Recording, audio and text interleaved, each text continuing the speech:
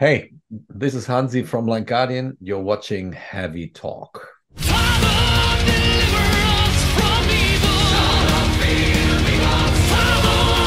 A voz de Deus está conosco. Olá, seja mais uma vez muito bem-vindo ao Heavy Talk, o canal favorito do brasileiro fã de rock e heavy metal. Hoje para um vídeo super especial em que eu entrevistei pela segunda vez um dos maiores ídolos da minha vida, que é o Hansi Kirsch, vocalista do Blind Guardian. O Blind Guardian está vindo para o Brasil no final do ano para seis apresentações. Dia 18 de novembro no Circo Voador no Rio de Janeiro, dia 19 de novembro na Autêntica em Belo Horizonte, dia 21 de novembro na Ópera de Arame em Curitiba, dia 23 de novembro no Opinião em Porto Alegre e dias 25 e 26 de novembro no Terra SP em São Paulo. Shows da turnê que divulga o álbum mais recente The God Machine de 2022 né? Que eles estão vindo aí de volta para o Brasil poucos meses depois de ser uma das principais atrações do Summer Breeze. Essa banda ama o Brasil. E aproveitando, também vou divulgar alguns outros shows, né? Que nós teremos no nosso país em breve. Em setembro teremos o Ghost, um fenômeno mundial que tem duas datas em São Paulo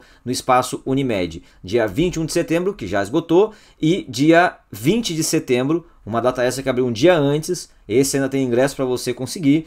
Os dois shows contarão com a abertura da banda Cripta, então certamente serão noites incríveis. E tem também a turnê da Taya Turunen, Living the Dream, a eterna diva do metal, vai passar pelo Brasil para três apresentações. Dia 22 de setembro em Porto Alegre, dia 23 de setembro em São Paulo e dia 24 de setembro em Limeira. Garanto seu ingresso e nos vemos lá. E antes de começarmos nossa entrevista, eu preciso pedir sua ajuda se tornando membro do nosso canal. Por menos de 3 reais você pode ajudar o Heavy Talk a continuar existindo por muito tempo. Nós precisamos que pelo menos um a cada 100 inscritos do canal se tornem membros e a gente está beirando aí esse limite de 1%, então pense com carinho em fazer parte disso para a gente continuar trazendo conteúdos incríveis como este para vocês. Agora sim, vamos à entrevista, mas ó, não esqueça de ativar as legendas no player e ative em português, tá? Porque tem possibilidade de vários idiomas, certo? Bom vídeo a todos! Well, Mr. Hans, it's a honor to have you here. I'm a huge fan of Blind Guardian and of your voice, of course. Thank you. And well, this interview will go on air later, but at the mm -hmm. moment we are recording, you just participate in some awesome celebration on the stage of Wacken with Doro Pesch. How was that moment for you? It's been great. Um, I know Doro for a long, long time, and I might have seen one of the first Warlock concerts ever. So um, I'm familiar with this stuff ever since the very early 80s. And um, obviously, I I followed her career, and then we became partners in crime. And it's great to see her rocking. And she's a very tough lady i have to say. And so it, has been great to see her rocking uh, wacken yesterday and becoming a part of it. That also was very important. If we count the lucifer's heritage years your career will also turn 40 soon. You think in any kind of celebration for that too? No. Um, we more or less ignored forgot, did, did not see whatever, um, see any of the anniversaries. Um, we're not good in such stuff because we never thought in such terms. I've been asked a lot of times if I thought back in in when was it 87 88 that we would still be rocking you know 35 years later and i have to say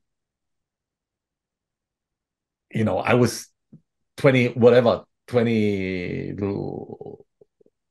yeah 20 something 21 and uh, 21 22 so i didn't have any idea what 30 years mean at that point so my my uh, view of the world back then was like you know we become famous very quickly and i shared that with Thomen, Marcus, and Andre. There was no difference. We all thought the same way. So a decade was endless. It was half our life at that time. So even that you know was something we could not really imagine. Nowadays i have to say you know seeing how long our career is lasting already is a blast. And um, yeah i'm i'm just enjoying the ride i have to say. Nice. Uh, the God Machine came out almost a year ago, and the feedback from fans and the metal press was incredible, especially because of how it sounds, bringing a lot of that thrash metal of the first albums. After playing these new songs for some good months, how do you see the the latest record in the band's discography? I have to say it's still too early. Um, I we have had a good feeling, but I, I basically can say that about any of our albums, and they they all have their pros and cons. The impact the God Machine has is very big at the moment, and I believe it stays like this. And a part of it is related to the sound, and maybe to um, the straightforward direction we have taken on the album, uh, because otherwise, in in many cases, this album is not too different from Beyond the Red Mirror or At the Edge of Time or Twist in the Myth. It it is a, a modern approach still um, to do something legitimate to our legacy. And I believe that uh, the songs are very strong. There is a red line. Maybe that's what people um, uh, recognize um, that the songs, even though they're individual, they interact very nicely. And so this makes it one of the more popular Blind Guardian albums at the moment. Um, I believe at the very end, and I, I think I said that during some interviews before, um, it is a try to, you know, or it is a it is a new beginning. Um, we defined everything we wanted to in the orchestral direction with Legacy of the Dark Lands. Uh, Beyond the Red Mirror partly had been abused to guide into that direction. And now we're basically free to do whatever we want to do. And that probably is what people realize on the God Machine that we're, you know, unleashed. And this is how it feels. And I believe this is how I will always recall the album. And not long ago, you were in Brazil promoting this album in the first edition of the Summer Breeze in our country, a big festival from Germany. Honestly, as a German who have already played a few times in the German Summer Breeze, did we have a good start? Oh, you you had a tremendous start, but to me, the Summer Breeze is still um, connected to our uh, somewhere live appearances from last year. The promoter asked us to to do the mm-hmm. somewhere stuff, so um, this is more how I recall the festival also. And um, when we come over in uh, when is it November, um, this is where the focus will be more on the God Machine. Yeah, I I was really impressed, and I've spoken to the uh, German promoters who had been um, visiting the festival as guests, and they were also impressed because, on one hand, uh, and I share that, uh, they thought that um, the idea to do such format in Brazil or in South America in general um, is a very good step because people exp- the experience of such a festival is a bit different, and um, it, it was designed and planned very wisely, I think. Um, it was not built up too big, and it was built up on realistic uh, expectations. And from what I saw in the audience and from what I felt myself, this is a very good beginning. And I believe um, that this will be an established festival in South America and in particular in Brazil um, very quickly. The next one will be most probably a bit bigger even. Um, it's a question how how big you want to go with a festival in general you know? Um, i like the mid-sized festivals um, which means anything between 3000 people and 20000 people. That's basically where the blast is where you you feel the sincerity you can you can feel the spirit of a metal festival. And um, in this category summer breeze Brazil is at the moment. The German one is, of course, a bit big, big, uh, a bit bigger. Um, question is if you want to go there or not. But um, the the format has been perfectly um, built up in Brazil. Another thing I would like to ask you about uh, is about your voice. The prog power style is very physical for vocalists, and if we look at the singers who are references in the style, many went through vocal problems. and some had to readapt or change their style. In your case, you're not only a reference since the 90s, but you still sound like you are in 95. Uh, such a visceral, powerful, and unique voice remains very healthy. How do you feel and take care of your voice during all these years? Uh, I did not always pay attention. That is the dilemma I'm in in answering this question, because I also did wrong stuff. I took care very early, um, and you're right. That happened somewhere in the 90s, and you know I took my lessons, and I ever since do almost a manic warm up, especially nowadays. Uh, it's sometimes the whole day I'm not doing anything else but smooth physical therapies to, to get the voice into shape. Um, I had to learn that all the hard way. Also, that talking and drinking is not really good for vocalists. I'm I'm talking about party drinking. Um, there's nothing wrong with a glass of wine or you know a beer here and there or an ice cream that won't hurt you. At least it doesn't hurt me. But um, if if you go into a pub and then have you have heavy talking with people and you drink, then this exceeds everything, and this is not good for the voice. Um, I basically am able, with the age I'm in now, to avoid that a bit or mostly. Um, so that helps me now. Um, it's a bit of luck, of course, you know, um, how the physical status is. And I have to say that even though my sinuses, for example, uh, is always bothering me, um, that also helped me in getting the breaks at the right moment because once I'm I'm really getting that cold, to say so, um, there's no chance in singing if I'm on the road, of course, I do the singing and everyone will recognize because I sound like a piece of shit. But um, I will I will make sure then that um, afterwards that I get, the rest I, I need to recover. And some vocalists may not have ha ha had that chance because you know they were on tour, they you know they did whatever they did, and if you really waste your voice, it's hard to get it back. So I accidentally avoided that somehow. And you're a vocalist uh, who first started playing bass until the end of the Imaginations from the Other Side uh, tour. You recorded and toured playing bass.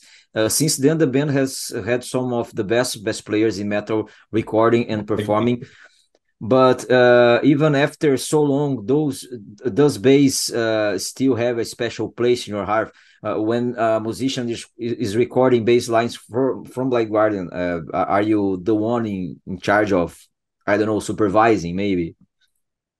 No, I'm not. Um, my heydays in in playing bass were really in Lucifer's Heritage and maybe the beginning of Blind Guardian. That's when I considered myself to be more a bass player than a vocalist. And ever since, I did not pay too much attention to it. It was more a supportive job I did.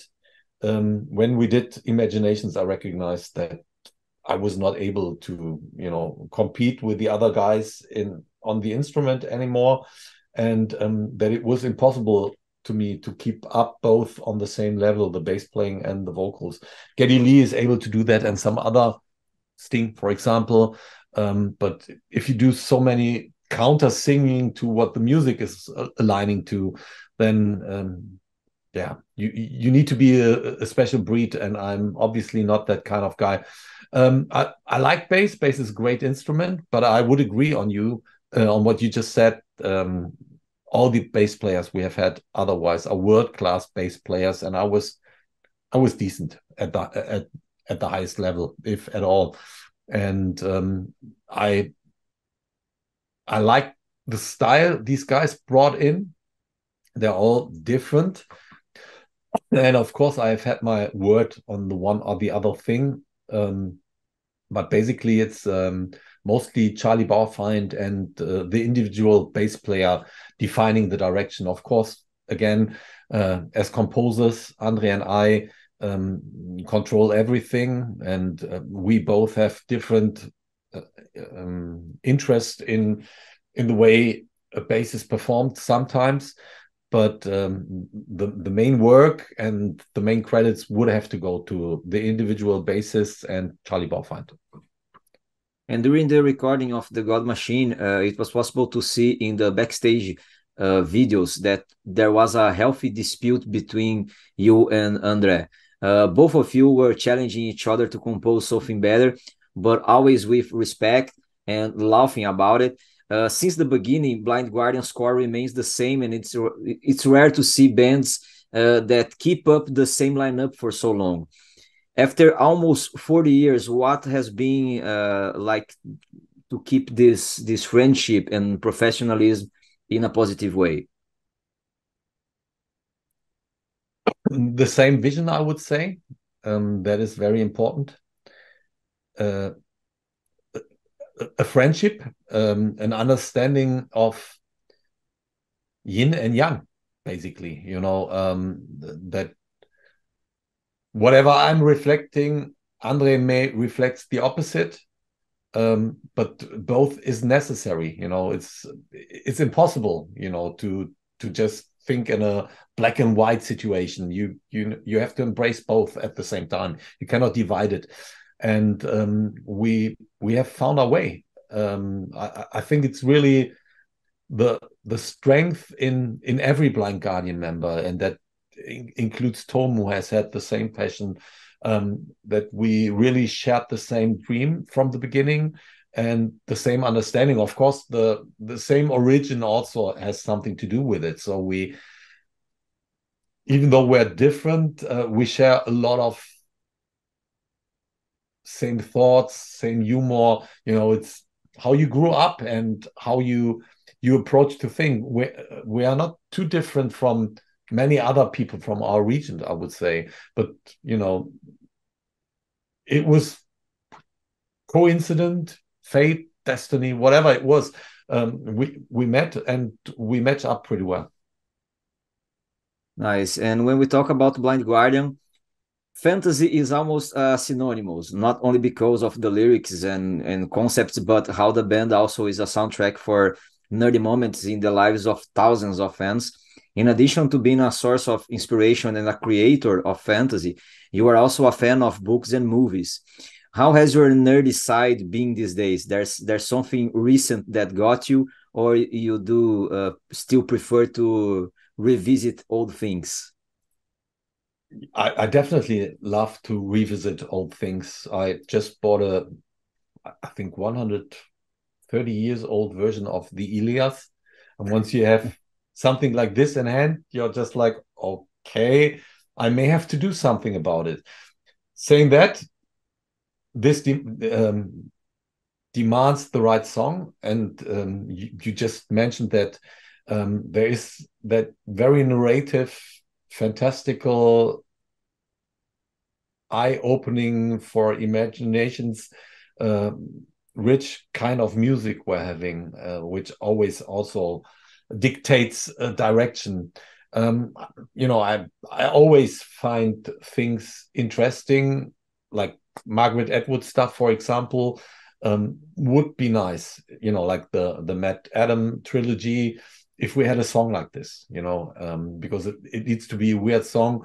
Um, there are always authors, old, new, uh, popping popping up, and um, some may just, you know, open an idea, you know, in which has nothing else to do with the story itself. Or songs, for example, you know, the the classic rock songs or pop songs one is listening to, like you know, a, a, great song for interpretation, for example, is American Pie by Don McLean. Um, if if you have a song like this, it it sometimes opens universes in what one would be able to do with lyrics and still narrative lyrics. Um, well, I am myself a hardcore fan of Blind Guardian, and there's uh, one interesting thing that I that can lead to two questions. My first tattoo is a Blind Guardian tattoo that I did when I was 18. And my second tattoo is a Lord of the Rings tattoo that I made a year after that. Uh, so, mm-hmm. first, none of you guys have apparent tattoos. That's a, a, a bit rare in, in a metal band. We're no way typical. I mean, what we're doing, we're doing with passion, and it never appealed to any one of us. You know, we're not against tattoos but it won't suit me. I mean, I have very very thin arms, for example. so the the tattoo would fall off. So there's no need for it. And um, the other guys, including Tom, they always thought the same way. It, wasn't really nothing a coincidence. for us. You know? Johan, yeah, right. But again, it's also a question of religion where you come from. Um, I I don't identify myself with tattoos. I see a lot of people wearing tattoos, and I'm just like, okay, it's a fashion. That's not what tattoos are supposed to be. And um, this is why I'm not, you know, keen of getting a tattoo because it's it's not my ideology. It's not my way of thinking. Nice. And the, the second one, uh, I love Peter Jackson's uh, Lord of the Rings. Uh, can't say the same about the Hobbit trilogy or Rings of Power series, but I would like to know which moment of Tolkien universe you would love to watch in any audiovisual work. Uh, it's it spoils so much of the imaginations, no matter how good a movie is. So that's a tricky question. Of course, um, the fall of Gondolin would be great, but maybe the biggest one I could imagine is um, is the battle between Fingolfin and and Morgoth at Thangorodrim. Um, that's my favorite Blind Guardian song anyway. But I also think that's the yeah that's the most emotional moment in in the whole Tolkien universe in terms of you know bravery of you know it's beautiful. And so i would love to see that. But i also you know had no problem in seeing uh um the the exodus of the Noldorin race out of the blessed realm like like in nightfall or you know the i don't know how it's pronounced correctly the the suffering in the Helcaraxë, I I really would love to see that. You know, I could imagine that these could be blockbuster movies, but as said, I don't even know if I want it to be. I if once it is created as an image, even though Peter Jackson did really great, um, especially on most on, on the Fellowship, um, yeah, somehow you have an, a picture in in mind which is probably not yours. Even though he was very faithful in the way, you know, he he's woven in what great painters has had done. Um, yeah, it still spoils a bit of the imaginations, and therefore I don't know if I want it. And taking a look at the band's online store and even researching old merch, uh, there are hundreds and hundreds of T-shirts with the most beautiful illustrations. You are the kind of fan who enjoys wearing T-shirts from the bands you admire, but how involved are you in merch development and in graphic artists? Uh, do you like keep a copy of each release? No, I'm not that dedicated. I'm I'm a scatterbrain, so um, my recollection is not brilliant. I have to say, and my my my passion in collecting is also not that well established. Um, I'm heavily involved in the um, creation of graphics and uh, the t-shirts, but I'm doing them, and then I'm happy that we have accomplished the one or the other. And what I'm not good in is at least nowadays, is judging which will be good sellers and which won't. in the old days, it was really easy, you know, when we did uh, the Imaginations Dragon Guitar and everyone was happy, and then then um, the graphic guys took over and did the T-shirts, and everyone knew, oh, this is going to be a seller, and and it was. But nowadays, it's so different. Sometimes the ones I really appreciate are the ones which yeah, they are lame sometimes in selling, and the ones I I think they are kind of too much. They are the ones the people really like, um, but uh, it is one part of our job, of course. Um, there are bands like the old, the very old school bands. They don't have any connection to to to the whole universe of the band, to to the whole business which is uh, connected. We slowly and early started being, you know, involved in almost everything. Nowadays, there are some bands like Sabaton, for example. They are really full spot on. It's it's like uh, you know, twenty four seven hours job for them in you know having everything under control. Um, we have a lot under control, but not that much. Got it. And there's a Brazilian metal band called Tuatha de Danann, which some fans here nicknamed as uh, Brazilian Blind, mostly because of the fantasy and visual visual elements, and also they are fans of, of you guys. Angra also has a strong connection with you since the collaboration in the Temple of Shadows album and the co-headline tour in 2007. And if I'm not mistaken, both bands are playing at 70,000 tons of metal in January. Uh, perhaps we have a time for a, a new live version of Winds of Destination. But the question is uh, you coming from a country that shaped power metal and being one of the main references in the style, how do you see Brazilian metal nowadays? I think it was always strong, um, or, or, very early. Um, German metal must have been or might have been there a bit earlier, but you know, imagine thrash metal without Sepultura. That's impossible. And um, you just mentioned our direct connection with Angra, but I know the guys ever since the early 90s. I, I visited some of their first shows in in Germany. Um, we have been friend or we are friend with their old manager. We are friend with the guys. Um, there is a very strong connection in the music of especially Brazilian power metal band and German power metal bands. You could you can really feel that they are kind of the successors of what Blind Guardian or Helloween had been up to, and they established that into a direction which is suitable for the Brazilian culture. The, the stuff is certainly different to what we are doing uh, because of the ethno um, instruments and and um, aspects they have brought in. Um, this is what music is made for. You know, you need to somehow bring in your cultural spirit, and um, I, I, see that perfectly and nicely um, accomplished in in Angra.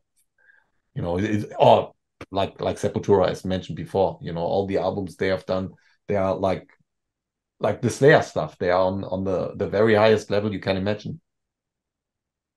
Hansi, thank you very much, and I hope to see you in Brazil in November. I'll for sure right. will be at at least one of the the concerts here. Okay, at least one. At least one. I count on that. You know, you will be the one, the front row boy. uh, nice to talk to you, and I hope to see Very you. Nice talking to you again. Soon.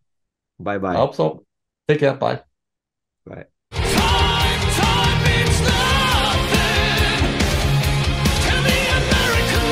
Espero que você tenha gostado de mais esse conteúdo do Reb Talk. Se você gostou, é essencial deixar o seu like que vai ajudar no engajamento do vídeo. Também mande esse vídeo para os seus amigos que são fãs de Blind Guardian e vá atrás do seu ingresso para esses shows que vão acontecer no Brasil né? Certamente eu vou encontrar vocês em pelo menos um deles. E mais uma vez eu peço também que você considere se tornar membro aqui do canal e ajudar nosso trabalho a continuar crescendo. Hoje eu vivo desse canal em tempo integral e isso exige muita dedicação. Eu peço em troca que por menos de 13 reais você se torne membro, para garantir que o canal não acabe. Além de vários benefícios exclusivos que você terá por ser membro. Então, venha fazer parte desse 1% que a gente precisa. Se você já é membro, né, ou quer ajudar ainda mais, ou quer fazer alguma colaboração espontânea e avulsa, aqui embaixo também está o QR Code do nosso Pix. E na descrição do vídeo, além do link para virar membro, tem também o nosso PayPal e o nosso Apoia-se. Qualquer valor mesmo vai ser de grande ajuda. Então,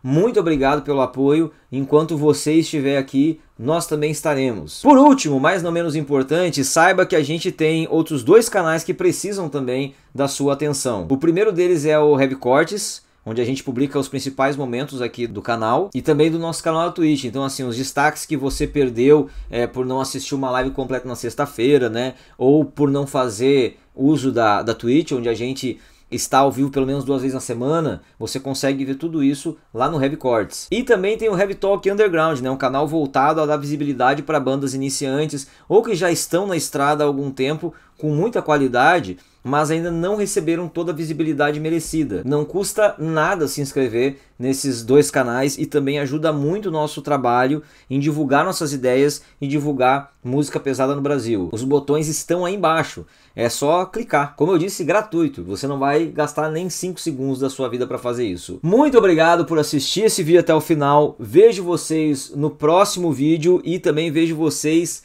na pista do show do Blind Guardian em novembro.